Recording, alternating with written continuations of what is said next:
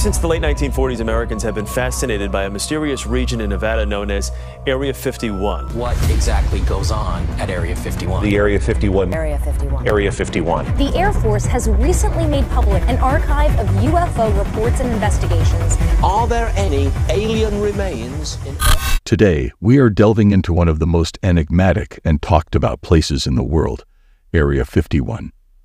But hold on, we're not just going to rehash conspiracy theories. We're going beyond the myths to uncover the true history behind this secretive location. So, buckle up, and let's dive deep into Area 51. Through the 1950s, UFO sightings become the convenient cover up for U 2 flights. But on May 1st, 1960, America's top secret spying mission is blown when the USSR downs a high flying U 2. Before we embark on this historical journey, let's set the stage. Area 51, also known as Groom Lake, is a remote detachment of Edwards Air Force Base in Nevada. Established in the 1950s, its purpose was initially shrouded in secrecy, giving birth to countless conspiracy theories. To understand Area 51, we need to rewind to the Cold War era. The United States was in the midst of an arms race with the Soviet Union, and technological advancements were top secret matters. In the shadow of this geopolitical tension, Area 51 was born.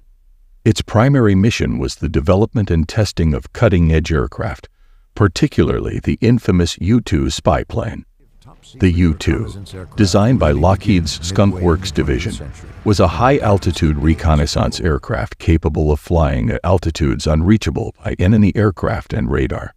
This groundbreaking technology played a pivotal role during the Cold War, providing crucial intelligence for the United States. This project was to back engineer the alien craft. I went into the hangar door, and in the hangar door was the disc, the flying saucer that I worked. Reports that strange flying discs have been whizzing at 1,200 miles an hour over the western United States. The conspiracy theories surrounding Area 51. From UFO sightings to extraterrestrial experimentation, the speculative narratives have fueled public imagination for decades. But what's the real story behind these claims? Contrary to popular belief, there's no concrete evidence supporting the existence of extraterrestrial activity at Area 51. In fact, many alleged UFO sightings can be attributed to the testing of experimental aircraft, like the aforementioned U 2, which appeared as unidentified flying objects to onlookers.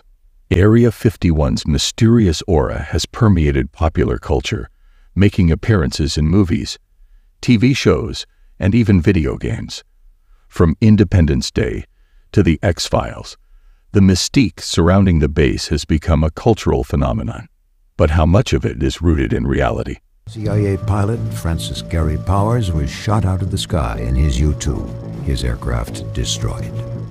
Years of hard-won secrecy for the U.S. intelligence community were wiped out in a moment. As we transition into the 1960s and 70s, Area 51 continued to play a crucial role in aviation history. The A-12, successor to the U-2, and its derivative, the SR-71 Blackbird, were developed and tested here. The SR-71 roared skyward with maximum afterburner thrust. A legendary pilot was taking the first ever flight in a legendary airplane. These iconic aircraft pushed the boundaries of speed and altitude, solidifying Area 51's reputation as a hub for cutting-edge aerospace technology.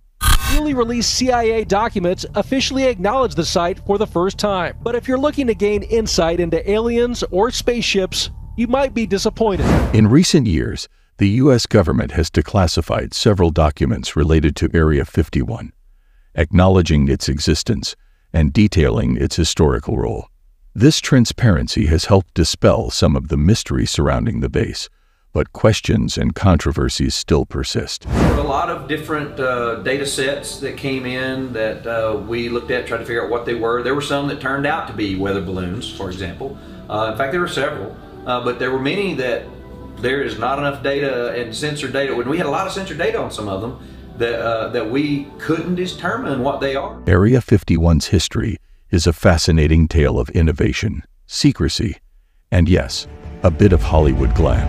While the conspiracy theories have added an air of intrigue, it's essential to separate fact from fiction. Area 51 remains a symbol of human ingenuity and the lengths nations go to protect their technological advancements. Thank you for joining me on this journey beyond the conspiracy. If you enjoyed this deep dive into history, don't forget to hit that like button, subscribe for more captivating content, and ring that notification bell to stay updated. Until next time,